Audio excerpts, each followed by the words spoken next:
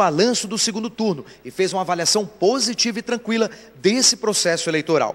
Não houve prisão em flagrante e nenhum caso de dinheiro apreendido.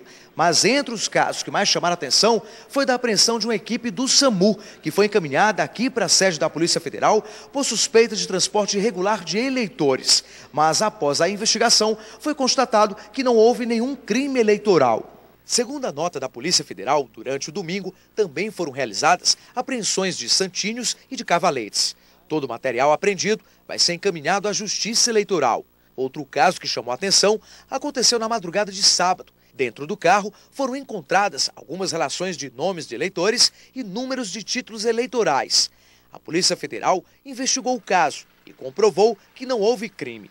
De acordo com a nota da Polícia Federal, esse segundo turno foi um dos mais tranquilos das últimas eleições.